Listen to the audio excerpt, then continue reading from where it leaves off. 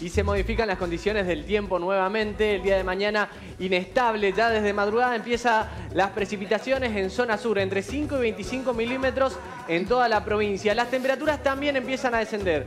Mínimas de 13 grados. Y atención a las máximas porque hay una gran diferencia térmica. Zona sur tendrá una máxima de 19 grados y en zona norte todavía algo cálido, una máxima de 25 grados. Las lluvias serán eh, moviendo a poquito zona centro por la mañana y en zona norte por la tarde se podrá apreciar recién las precipitaciones.